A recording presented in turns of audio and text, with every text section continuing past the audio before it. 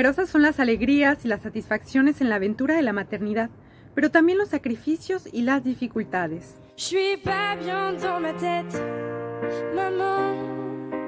En el Día de la Madre les presentamos la historia de cuatro mamás mexicanas en el extranjero. Se trata de Lala Gunther, tan pequeña viviendo en Estados Unidos desde hace 10 años. Ella es mamá de Elena de 7 años y de Elise de 2. Melissa Munguía, tasqueña en Francia, es mamá de Lía, una pequeñita de 11 meses. Alba John es una poblana viviendo en Alemania desde hace 5 años. Ella es mamá de Paola de 5 años, Adela de año y medio y está embarazada de 5 meses. Finalmente, Selene Ruiz es una tan pequeña viviendo en España desde hace más de 15 años. Ella es mamá de Daira de 19 años, Ana de 13 y Mateo de 7 años.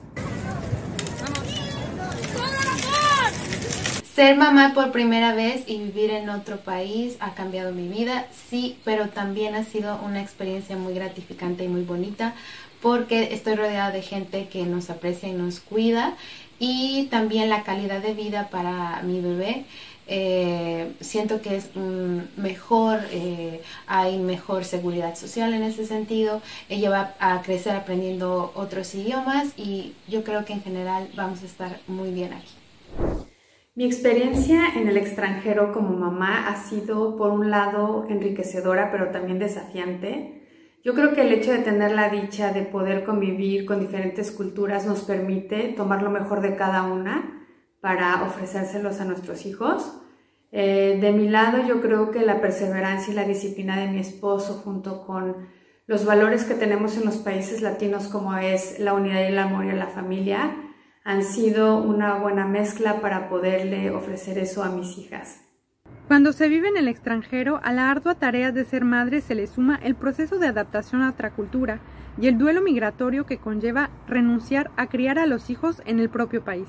Desventajas de ser mamá en el extranjero, pues la familia las redes familiares de lo que estamos nosotros tan acostumbrados en México de echar mano y no solamente la cuestión física y cuidar, sino también la parte emocional, la parte que necesitamos siempre ese arropar en los momentos alegres, en los momentos tristes, en las pérdidas, en las situaciones en las que se nos hace cuesta arriba y esa red familiar pues hace bastante falta en un lugar donde no lo tienes.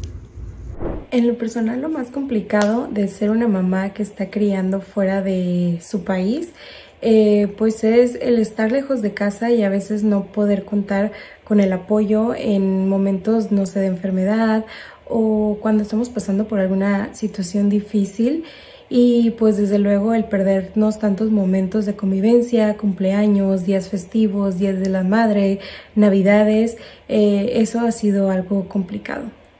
En cada país, el Día de la Madre se festeja en una fecha diferente, pero la esencia de la celebración es la misma, consentir a quienes nos han dado la vida. El Día de la Madre eh, lo festejamos aquí en casa el 10 de mayo, a pesar de que en Alemania se festeja el segundo domingo de mayo. Eh, y bueno, eh, siempre va a haber algún detalle por parte de la escuela de mis hijas y en casa lo vamos a festejar con ah, alguna comida o con em, algún detalle. Ese día, pues la verdad no hago nada y es mi esposo el que se encarga ya sea de cocinar para mí o de pedir algo. Este año la celebración del Día de la Madre estará marcada una vez más por las restricciones sanitarias relacionadas con el COVID-19. Festejemos con responsabilidad y a todas las mamás mexicanas muchas felicidades en su día en el 10.1 encontraste la noticia.